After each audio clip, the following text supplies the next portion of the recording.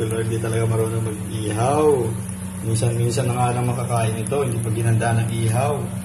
Ayan po, ayan, ayan, ayan, ayan po ang ating finished product. Ayan. Ah, sana mag-enjoy tayo mamaya nito. Oh, Enjoy.